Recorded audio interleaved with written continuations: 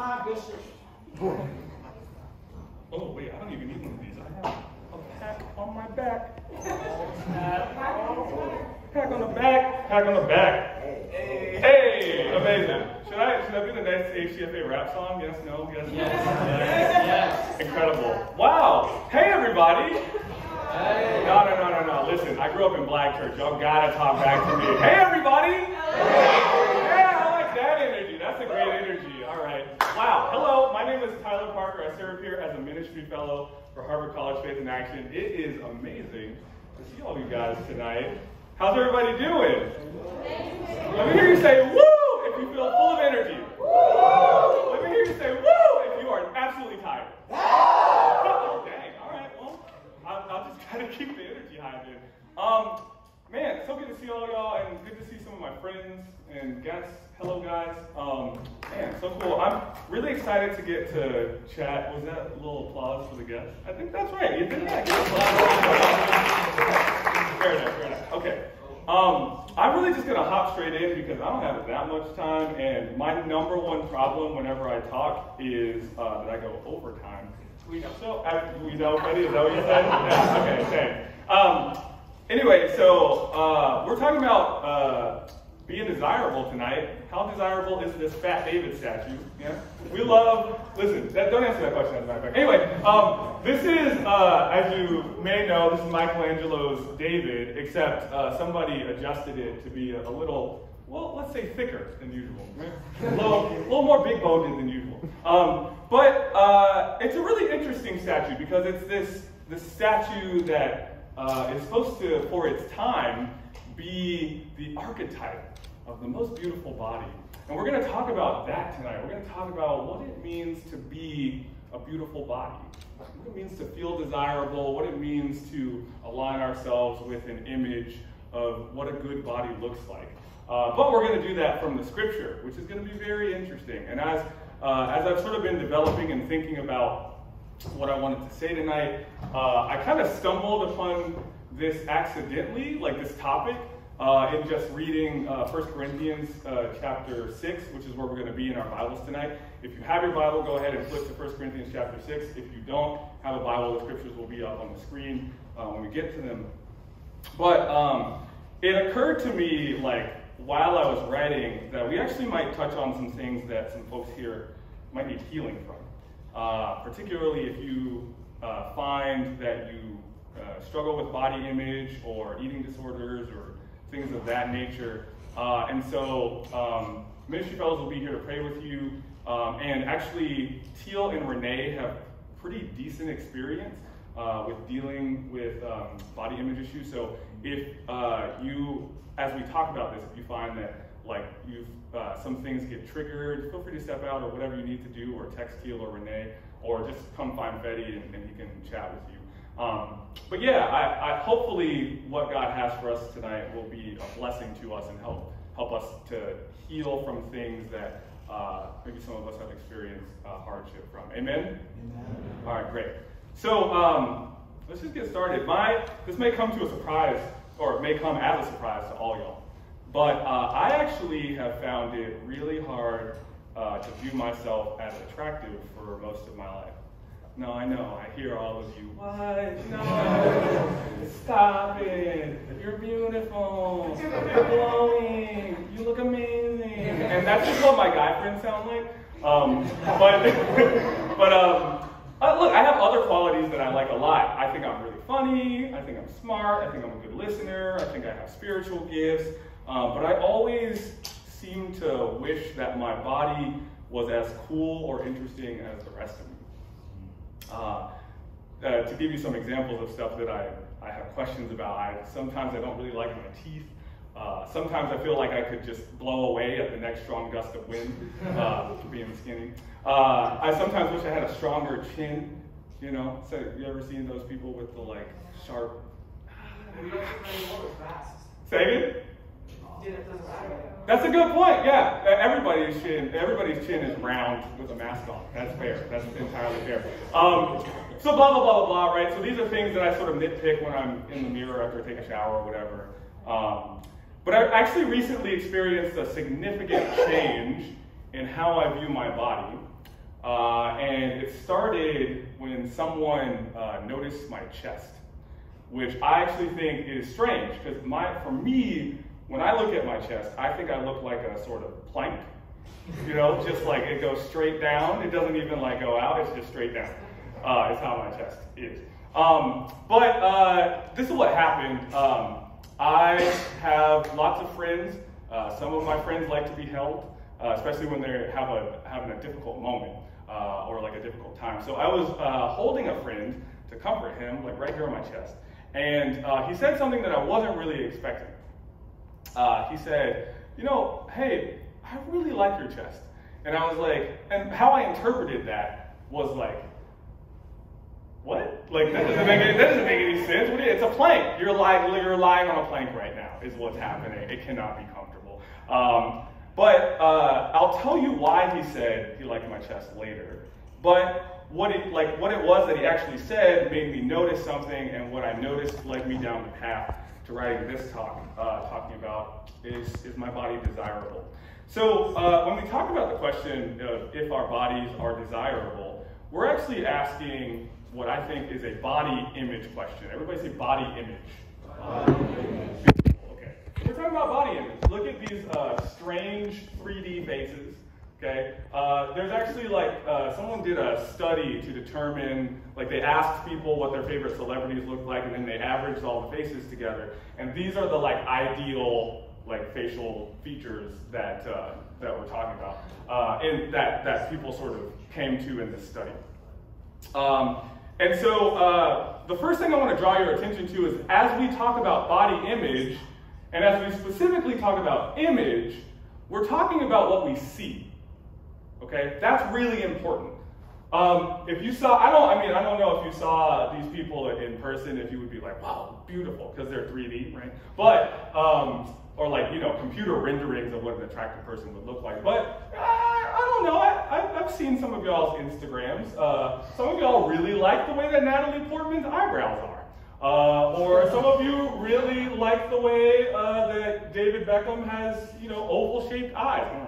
Um, but, uh, so these are the things that, that people find attractive about celebrities. And uh, maybe as we uh, some of us who struggle with body image issues, uh, if we do, what we're actually struggling with is what we look like, right, compared to how other people look, right? So when we talk, this is actually really important. You're going to understand why it's important later, but just know that as we talk about body image, we're talking about what we see, okay? Um, there is uh, a philosopher named Thomas Nagel. I took a class here um, when I was an undergraduate called Sexual Ethics, which if they still teach this class, all you guys should take it. It's actually really wonderful. Um, but this guy uh, was really interested in what people see. And actually found, he, he thought that how we see is actually really essential to our understanding of desire. Uh, not only what we see, but how other people see us as well. So this is what he says about sexual desire. He, he kind of, his, this guy's a philosopher, so he's going to use fancy language. I'll explain what he means. Um, but uh, essentially, he argues that sexual desire is uh, a sort of complex system of overlapping perception. So let me give you an example. Uh, let's say I'm talking about Fetty. Okay. Fetty's a beautiful guy. Everybody, Fetty, stand up, show the people you're amazing. Come on. Fetty, Fetty, y'all, we love Fetty. Okay, I'm using Fetty as an example, right? Okay, so this is how Fetty, uh, sorry, this is how Thomas Nagel would say that desire works. Uh, let's say Fetty and I are sitting at a bar, okay, and I see Fetty and I'm like, man, Fetty has amazing eyes, right? Yeah. But Fetty doesn't notice me, okay? So thus far, we actually don't have any desire uh, well, I desire Fetty, but there, it doesn't, it's not reciprocal, so it's not yet complete, okay? Uh, but the second thing that might happen is, you know, I'm taking a long stare at Fetty or something. And then Fetty looks back at me and notices that I notice him, okay? Now, now we have this system of desire happening. And maybe you guys have experienced this when you're like out in the street, right? It's like you notice someone, but they don't notice you back, right? and you and you like feel the tension of that and and maybe that is actually the, the, the foundation of your body image strife or at least the anxiety that comes from how people are attracted to each other, right? It's like, ah, I notice you, but why won't you notice me back? Right? And this is this is like this is the, the frustration that we experience. So it's it's particularly the second level of, of attraction that I think that all of us uh, are, are are yearning for when we're out in public or when we see someone but they don't notice us back. But but what we do notice uh, is that when someone does notice us, like when someone does notice us back, and particularly when someone notices us back that we notice, right? There's a really powerful experience in that, right? Hopefully, all of y'all have experienced this before, but when you when you see someone staring at you that you were staring at in the first place, then you realize there's like a mutuality there, and then desire kind of continues to build from there. And because there's an actual mutuality, humans are social creatures, and so we're trying to be social. And Thomas Nagel will go so far as to say uh, we the first person who was looking experiences what he calls a sense of embodiment. In other words, you feel seen. You feel like not like an object, but you feel somehow more human when someone that you notice notices you back. And so the question of am I desirable could actually be reformulated as the question Does anyone notice me back? So, how do we try to fix our body image issues or our noticing issues?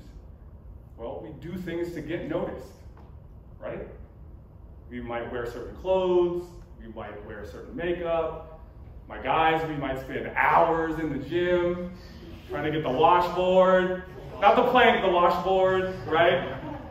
Uh, we might spend hours looking at ourselves in the mirror. Maybe some of y'all don't, don't spend hours, but actually, what, what probably happens is if you counted up all the time that you looked in mirrors over the course of the day, it might end up being hours. Oh, that's kind of awkward. Um, but, right, so we do things to get noticed. Here's a, here's a pretty significant thing. We might spend a lot of time focusing on how we eat or what we eat in order to change our weight, right? Or change the, the proportions or whatever of our body. Why? Because we want to be noticed. We want to be noticed by the people who notice us. Or, sorry, we want to be noticed by the people that we notice, right? We want that mutuality. We want, we want the feeling of like, ah, I need to know that someone desires me. And so, what we end up doing is obsessing. Uh, and we obsess in two ways. We obsess in a negative way and a positive way. In, a, in the negative way, we might spend a lot of time thinking about the fact that no one finds me desirable. Nobody notices me. So for some reason, I seem, this happens to me a lot actually, when I go out in public and I see all the folks around Harvard Square and I'm like, ah, I noticed that guy, I noticed that lady, I noticed this person, I noticed that person. Uh, and no one's looking back at me right? No one else is kind of captured by what I'm wearing. Nobody else is captured by my eyes. Nobody else is captured by, you know, et cetera, et cetera. Uh, or we obsess positively about being desirable.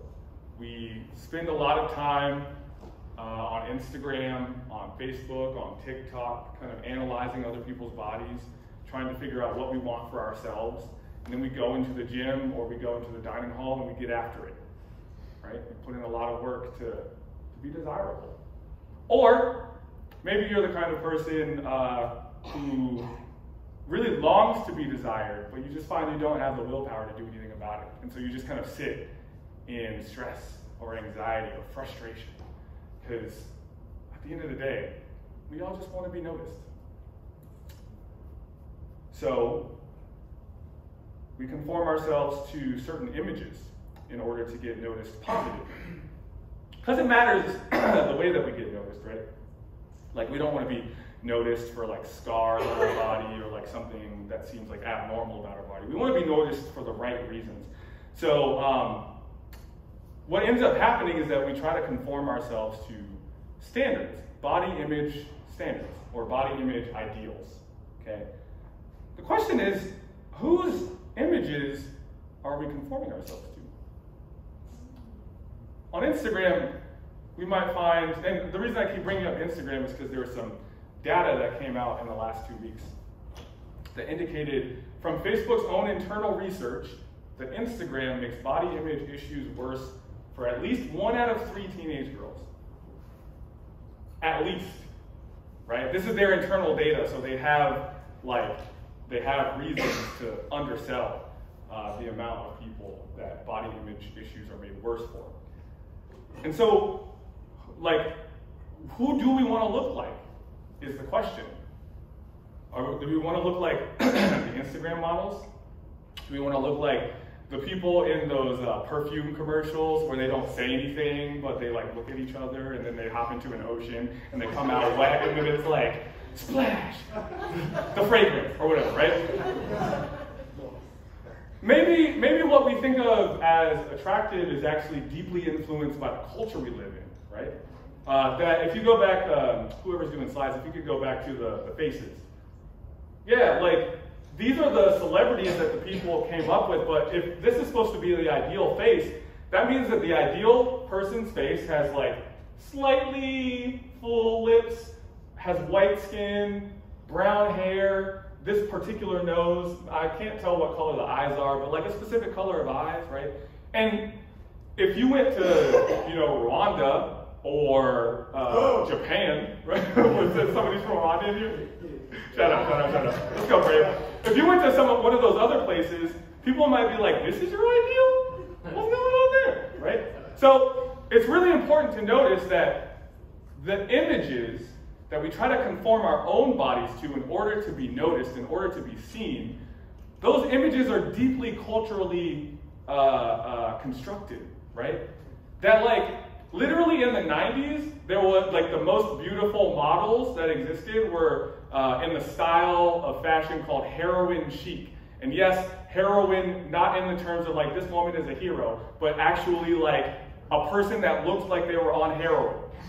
Okay? It's like they had sunken eyes, they were like really, really thin. This like the, the modeling industry was kind of uh, racked by these scandals of, of, of models experiencing eating disorders and stuff like that in order to like fit some beauty standard, right? And today, the ideal woman is in, in, the West is somebody like Kim Kardashian. It's like completely different, right? And so these, these image standards, they're not like giving you like eternal kind of understandings of what's beautiful. They're giving you deeply culturally conditioned understandings of what is beautiful, right? right? So where do we look to figure out what's actually beautiful? We'll get to it. Here's, here's another thing that's really important to note is that no one's exempt from this. We actually even conform God to the beauty standards of our age. If you notice uh, religious art throughout different time periods, right? People tend to conform religious figures and even representations of God himself to the beauty standards of that age, which the folks in the Old Testament would have deep issues with, right? They'd have deep issues because the like the first or the second commandment says, "You shall make you shall make no graven images of the Lord your God," right? So it's like for some reason the folks in the Old Testament had this deep internal anxiety or this deep internal rejection of the idea that God would be made in the image of our age, in accordance with the beauty standards of our age. Uh, and here's just like a fun side note, is that the word image uh, is actually the same word, like in the Old Testament, the same the word that's the Hebrew word for image is the same word for idol. Um, and uh, idols go in temples. Uh, people would like kind of make these graven images and put them in temples as physical representations of the deity. But for Hebrews, they like refused to do that. They said our God is not represented by graven images that go in temples. He's represented by something else. Uh, the last thing I want to say on, on kind of this body image situation that, that we live in here in the Western culture is uh, there's something called the body positivity movement. Have you guys heard of this? Yeah. So the body. So here's the thing, right? Folks in our culture, even secular culture, recognize that there's something deeply intrinsically wrong with the way that we think about body image. Uh, they recognize that most of the time people are kind of basing their self worth on appearances. Uh, and this movement sort of seeks to uh, recognize the diversity of bodies uh, and, and, and encourages people to adjudicate uh, the goodness of their body on something like health, which I think is a, a good goal. Uh, the problem with the body positivity movement, which again has really great aims and, and desires, but the issue is that this movement actually mostly exists on Instagram, which is a visual platform, right? So it's a movement that desires to help you not judge people based on appearances, right? But then the way that they get their posts seen on Instagram, like via the algorithm, is to like present their bodies in a way that draws more attention to their appearance, right? And so it's been it's sometimes criticized for this kind of contradictory uh, principle. Uh, it's like in order to be seen on Instagram, you have to post an image that will get you what noticed, right? So here is the fundamental question before us that we're going to look to the scripture to answer. Is there a healthier approach to the image I present to the world? Or better put, for what am I to be noticed? Say that with me. For what am I to be noticed? Let's check it out. Um, let me pray real quick. Lord, help us to see in your scripture why we why we ought to be noticed and, and what our body's for. And uh, show us, Lord, what you see in us and what you see in our bodies. We love you. In Christ's name, amen. Next up, we're going to read uh, 1 Corinthians chapter 6. Uh, we're going to read verses 13 through 20. Scripture says, For food is meant for the stomach, and the stomach for food, and God will destroy both one and the other. The body is not meant for sexual immorality, but for the Lord, and the Lord for the body. And God raised the Lord and will also raise us up by his power. Do you not know that your bodies are members of Christ? Shall I then take the members of Christ and make them members of a prostitute? Never. Or do you not know that he who is joined to a prostitute becomes one body with her? For, as it is written, the two will become one flesh.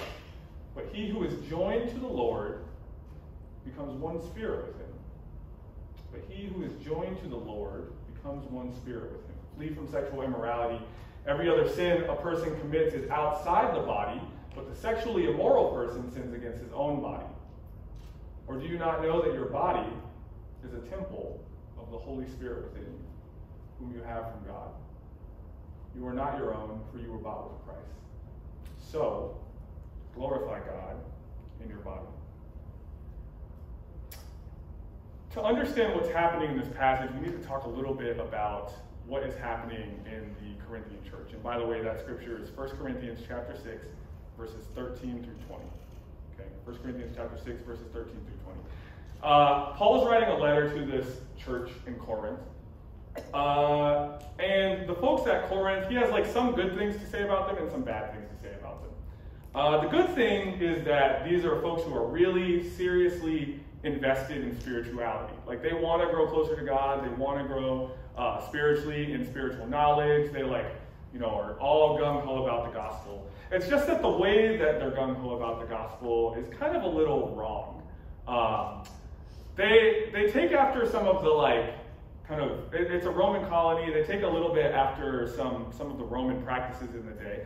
And there are some philosophers in the area who sort of think uh, your body's kind of nasty. Uh, your body has these urges, these like sexual urges. Those actually get in the way of you uh, understanding your proper relationship with God. So uh, the reason that Paul's talking about prostitutes here is that there's some people in the Corinthian church who, in their pursuit of spirituality, say, I need to just get, I, like I recognize that my sexual urges are like in the way. This thing that my body's doing, which is like desiring other people, that's getting in the way of my spirituality.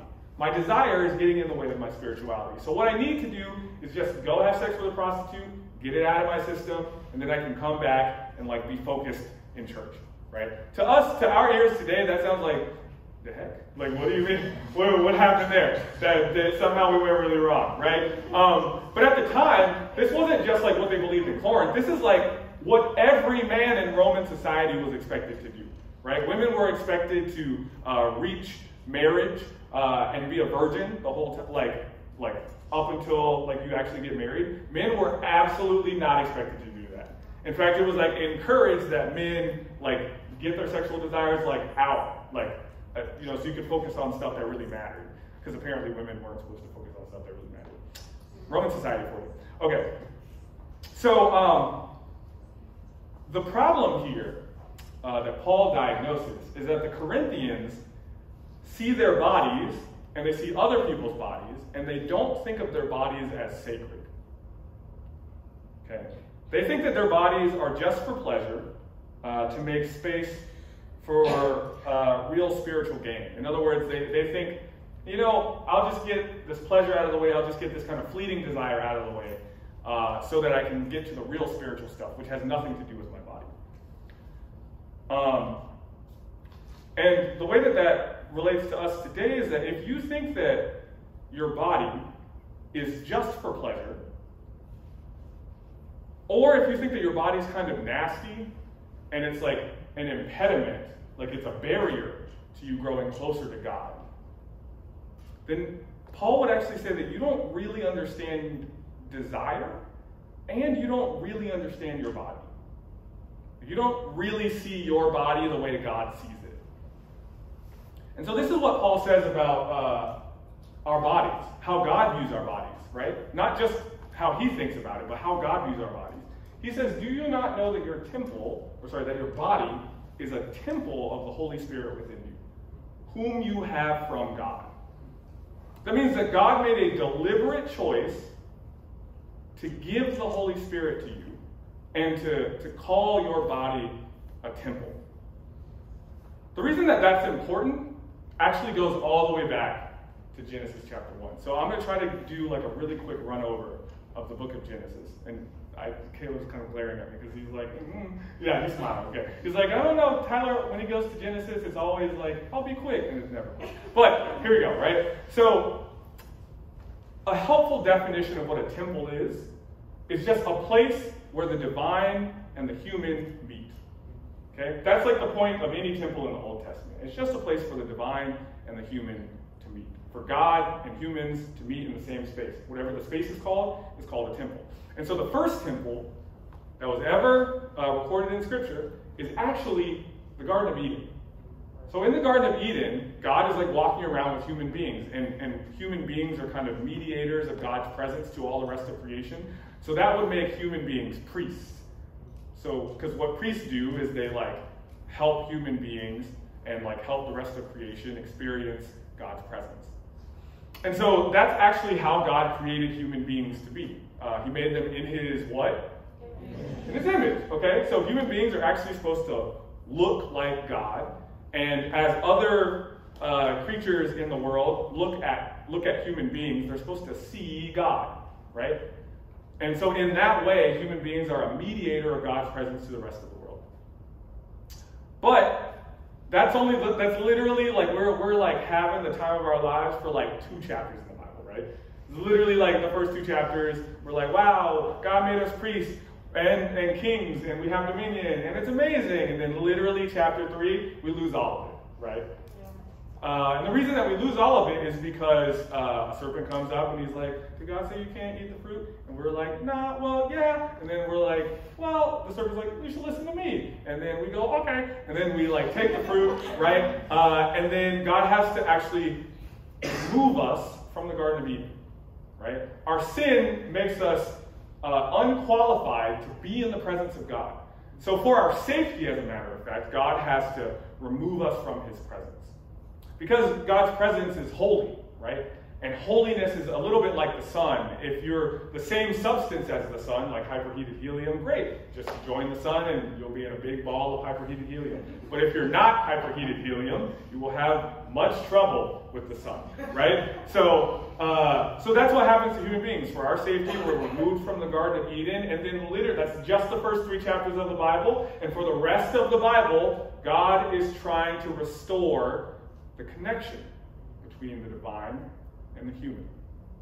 And so you get all these temples, all these spaces in the Old Testament where God is trying to put the divine and the human back together. So the tabernacle that he tells Moses to build, and the first temple, and the second temple. All these temples are meant to be spaces where human beings can be cleansed of their sins so that they can experience the presence of God. And then, in the New Testament, God does something strange. He does something weird. He doesn't tell human beings to build a building. He actually does a thing called incarnation, which means that the scripture says that uh, in this person, in a human being, all the fullness of the deity dwelt. And so the divine and the human are together in one body, and that body is called Jesus. Yay! You guys passed every Sunday school ever. Congratulations, right? So, so the so the body, right? A human body actually becomes a temple, right? A human body becomes the mediator of God's presence to other people. So that anytime that a human being is healed by Jesus, or anytime a human being lies on Jesus' chest, or anytime that a human being laughs with Jesus after Jesus tells a joke, or something like that, they are experiencing God through Jesus' body. Right? Now, here's the real kicker is that Jesus is not the only temple that God created. As a matter of fact, because Jesus uh, decides to send us the Holy Spirit, Paul makes the radical claim that those who belong to Jesus, those who follow Jesus into death and resurrection, uh, those people also are temples of the Holy Spirit. In other words, every single person in this room who belongs to Jesus is a carrier of God's presence. And that that is what your body is for. Can we go back one scripture? That's like not an accident, guys. And it's also not just this like heady spiritual reality. Check this out, right? So the scripture says uh, in verse 16, For as it is written, the two will become one flesh. Where is that from? right, it's from Genesis, right? And it's particularly from the part that's about what it's like for a man and woman to join themselves in marriage, right? The two will become one flesh, right? Uh, the scripture particularly is, Therefore shall a man leave his father and mother and cleave or hold fast to his wife, and the two will become one flesh. What do we think that that's about? Sex. Sex, that's right. Thank you. It's about union. It's about the union of two fundamentally different bodies, two bodies with different natures coming together to participate in union with one another. Watch this. But he who is joined to the Lord becomes one spirit with him. That word, joined to the Lord, is actually the exact same word as cleave between a husband and wife. And so I think that what Paul wants you to know is that not only does God, like, not only does God, like, not only has He put His Spirit in you, but He desires your body as it is for that purpose. He's filled with passionate desire for your body today, right now, as it is, for that purpose. Not only is God filled with passion to be close to you, He's passionate for union with you. To literally fill you with His presence. Right? To put something which wasn't there into you. Such that it's there now. Right? And I know it sounds a little bit awkward, but like, the scripture is utterly, like, the scripture is really shy about sexual language at certain points. Like, it goes, Adam knew his wife. right? But in so many places in the Old Testament, the scripture is absolutely explicit that the relationship between God and his people is not like God is my boyfriend, God is my girlfriend. It is God is my spouse. God is the spouse of Israel, right? The husband of Israel. And Israel has been fundamentally unfaithful, but God continues to cleave to his people, continues to radically desire them, continues. We sing a song called Reckless Love. It's this idea of like a furious, passionate desire that God has for his people, and that's true of you. And why does God desire why, why does God desire your body? Because he means to save the world through it, right? He, like there's so many people out on our campus and out in the world who have not experienced God's presence, who believe that God does not exist because they've never felt Him. And do you know that it is God's preference that God chooses to have those people experience His presence, not by writing in the sky, not by doing some crazy miracle, but He prefers to have them experience His presence through you. Amen? So here's the point God's, God really furiously desires my body. Like, He likes it. God is actually really jazzed about my body. He's like jazzed about my teeth. He's jazzed about my chest. He's jazzed about my legs. God. And where my beauty actually really lies is not in these temple decorations that fade, right? My clothes, which I probably won't have for like another year. I'm not very good at keeping up with clothes. Um, or not with like, you know, getting in the gym and getting super cut, because at some point in my life, I'm gonna be like 70, 80, and then like I, I probably won't be able to get into the gym as much, right? Or my skin will start to get a little saggy. And this happens, this is like universally true. Sorry guys, I don't know if you know, your skin will get saggy at some point, right? And that's like, that's a fundamental truth, right? Even the book of Proverbs says that beauty fades, right? But the fear of the Lord lasts forever. The word of the Lord lasts forever. So we spend so much time, and the folks on our campus spend so much time trying to dress ourselves and make ourselves beautiful so that we can get noticed with temple decorations that fade, not knowing that the beauty which persists, something of eternal beauty, is when we adorn ourselves with God's beautiful spirit. Because being with God is what makes me beautiful. Thank you, thank you. Let me give you an example of this. You know how, like, I don't, I don't know, people don't really talk about this that much, but you know, like, you know when, like, there's somebody, like, in your group or whatever, or, like, your friend group, and you're like, eh, I don't really think they're that hot. But then, like, then somebody else has a crush on them, or, like, then somebody else, like, you know, you guys know what I'm talking about. Somebody else has, like, a crush on them, or somebody else starts dating them, and it makes you go, like, hmm, maybe I was wrong, right?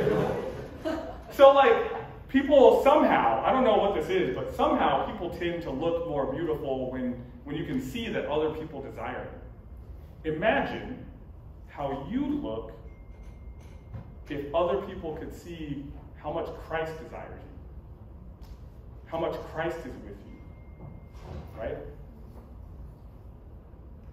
So here are the implications of, um, of, uh, of, of, of, what it means for me to be a temple that God means to unite with. Uh, in the last scripture, can we go like one more? Yeah. So Paul says, uh, You are not your own, for you were bought with a price. So glorify God in your body. I always thought that this was really interesting, glorify God with your body, because I keep hearing from folks that like God, like every time you see a no in the Bible, it's accompanied with like a some kind of positive yes right? And so what I see here is don't sleep with prostitutes. And by extension, like, because Paul's going to say in chapter 7, like, if you have sexual desires, you should get married, right? Um, or if you burn with sexual passion, you should get married. Um, so what I read from this traditionally was like, you know, don't have sex with prostitutes, don't have sex outside of marriage. And I never really understood, like, what, okay, so I'm not supposed to, like, you know, act on my sexual desires in that way. What do I do? What's the accompanying yes? The yes is glorify God in your body. And here's the crazy thing the word glorify, right, in this Greek context, actually means to make God seen, right? To make God noticeable. To be noticed by the God in you. Okay? So, this is what it means. This is the yes for me, according to my body, right? Uh, is that I'm meant to allow God to be seen through my body. That I'm most beautiful when people see God working through me. But what, what also seems to be true, I hear some of you in the audience going like, yeah, okay, fruit of the Spirit, like, great, adorn myself with the fruits of righteousness, yay. But I still struggle with the feeling that nobody notices me, right? The thing that I want to communicate to you tonight, the thing I want, if you don't leave with anything else, what I want you to know is this the Almighty God of the universe notices your body. And he says, he wants you to know. He wants he doesn't just want you to like read this in the scripture and then just like have it bounce off you. He wants you to know this in your innermost being. That you're beautiful and lovely and wonderfully made. And that he desires your body. And he desires union with your body.